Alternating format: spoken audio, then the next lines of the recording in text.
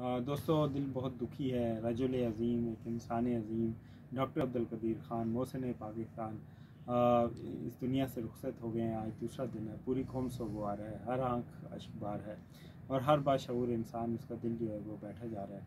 एक इतना अजीम इंसान हमें हमसे चला गया। अल्लाह को प्यारा हो गया, जिसके, हमारा वजूद, हमारी बका जिसकी वजह से है, उसने इस मुल्क को नाकाबिल तस्कीर बनाया, इस मुल्क को इतनी ताकत बनाया। अपना सब कुछ, अपना करियर दाव पे लगा कर मुल्क हॉलैंड से वापस आया यहाँ के उसने न दिन देखा न रात। टीम डेवलप की टीम डेवलप करने के बाद वो काम कर दिखाया जो एक मुइज़े से कम नहीं था। पाकिस्तान को एटमी ताकत बना दिया।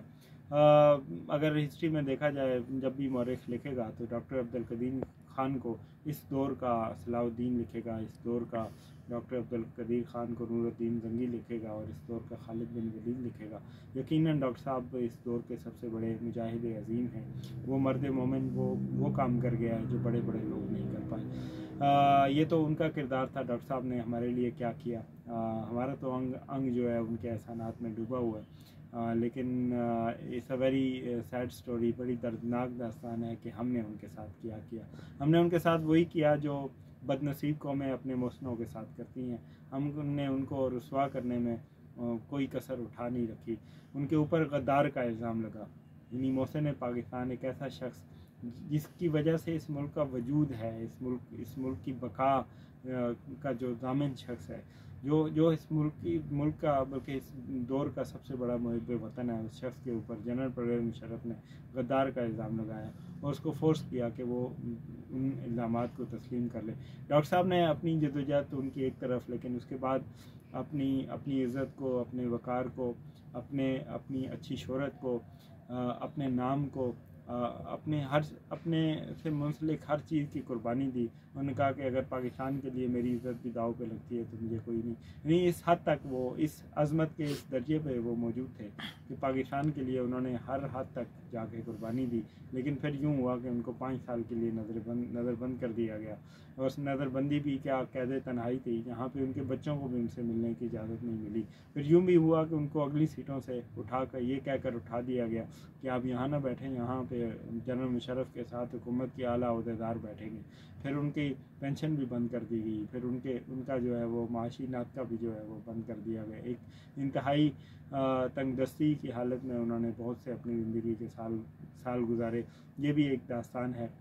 और फिर यूँ भी हुआ कि ये कौम जो अपने मुस्लिम से बहुत मोहब्बत कर रही है, आज रो रही है उनके लिए, जिसकी आँखें अशबार हैं, इस कौम को बदलने के लिए, इसकी हालत बदलने के लिए डॉक्टर साहब ने एक तहरीक तहफ़ पाकिस्तान के नाम के से एक पार्टी भी बनाई। उस पार्टी ने किसी और पार्टी के साथ इतिहाद भी किया और इलेक्शन भी लड़ा और इस कौम ने अपने मोहसिन को इस काबिल नहीं समझा कि उसको एक सीट भी जितवा कर असम्बली में पहुँचा दिया जाए। ये एक दर्दनाक दास्तान है, ये एक बहुत अनफॉर्चुनेट है, एक बदकिस्मती है, एक बदकिस्मत कौम अपने मौसनों के साथ ऐसे कर सकती है। किसी ने दुरुस्त कहा है कि हम शायद मुर्दा प्रस्त हैं, हम परिंदों को अपने जो है इज़्ज़त देने के लिए तैयार नहीं है उनको वो मकाम जो रुतबा देने के लिए तैयार नहीं है। लेकिन जब कोई मर जाता है तो उसके कसीदे लिखते हैं और फिर उसको बुत बनाकर सारी उम्र पूछते हैं और उसकी तालीमत के ऊपर कभी भी अमल नहीं करते।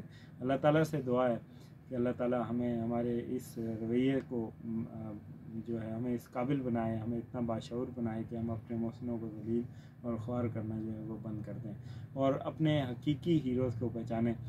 बदकिस्मती से एक और बात पर इंतहाई शदीद दुख हुआ कि इमरान खान तब्दीली सरकार और इस सरकार के अहम तरीन गुजरा में से कोई एक भी डॉक्टर अब्दुल कदीर ख़ान के जनाजे को कंधा देने के लिए मौजूद नहीं था। आ, कोई एक भी ऐसा नहीं था जो जनाजे में हो।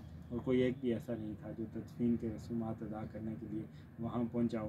बिल्कुल दुरुस्त इन्होंने जो किया, बिल्कुल ठीक किया, क्योंकि इन, जिन, जिनको वह पता नहीं किसको खुश करने के लिए, कौन सी आलमी ताकत को खुश करने के लिए इमरान खान ने ये सब कुछ किया। लेकिन अहल नज़र के लिए ये इशारा काफ़ी होता है। और वो हुक्मरान जो ये कहते हैं कि हम अगर कश्मीर का मसला हल हो जाए तो हमें एटवी प्रोग्राम की ज़रूरत नहीं है। तो इन इन तरह के बयान से भी इस तरह के बयान से भी अंदाज़ा हो जाता है कि वो किस को खुश करना चाहते हैं और, उन, उनका मतम नज़र क्या है। इन हुक्मरानों से कोई गिला नहीं है लेकिन आवाम से गिला है आपसे गिला है।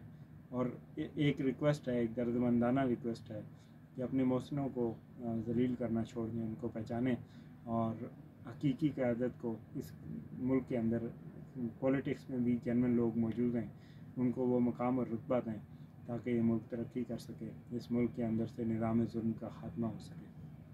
बहुत शुक्रिया आप सब लोगों का।